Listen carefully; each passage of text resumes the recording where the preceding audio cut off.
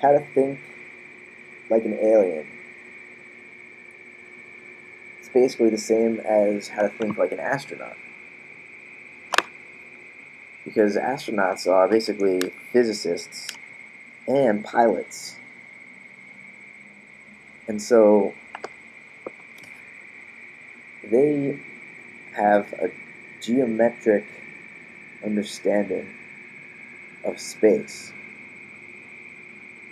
that makes them feel alienated from their bodies.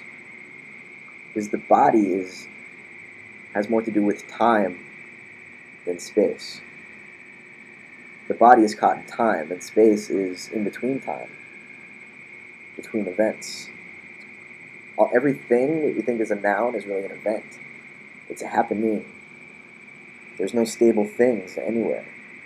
Stable. We think they're stable things because we have stable words, but stable even words change.